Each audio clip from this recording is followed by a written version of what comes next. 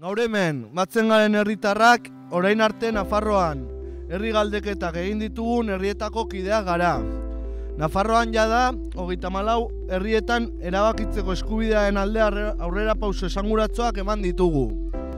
Izan ere, gaur arte, hogeita mairu mila, zeireun da berrogeita bi herritar deitu ditugu boskatzera.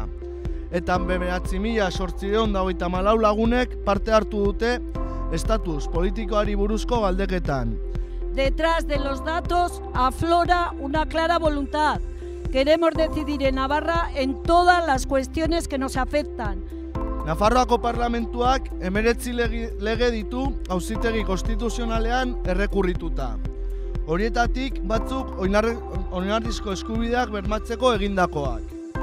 Joera zentralista hauen aurrean guk hemen edo zertaz erabaki nahi dugula argi eta garbi adierazi nahi dugu.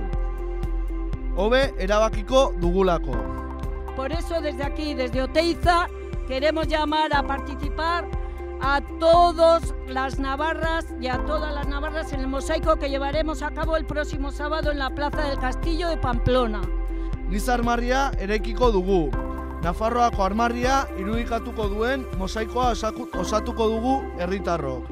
Nafarroan etorkizuna Nafarrok erabaki nahi dugulako.